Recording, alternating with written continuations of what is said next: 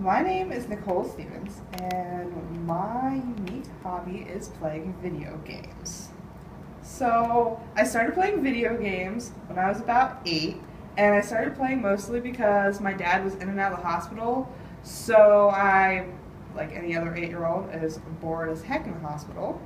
So, I started playing video games. I started with one of those little, um, cute little Game Boy Color handheld ones and that was basically black and white. And the first game I've ever had was Pokemon, um, Pokemon Gold and Silver. Um, I play now about four hours a day or so, maybe a little less, probably a little less.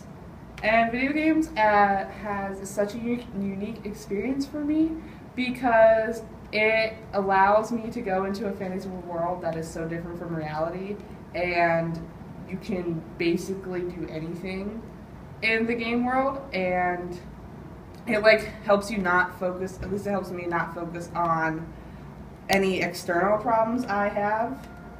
I can just completely focus on the game and winning in the game. Um, I make video games. I guess make me a better person. I just lost, so that's why you know. But video games make me a better person because I um, learn a lot about like myself when I play them. I learn how like I want to win at video games because in the vast world of technology nowadays, you can cheat and have game codes and all this other stuff, but I don't think that's a very like fair way to play.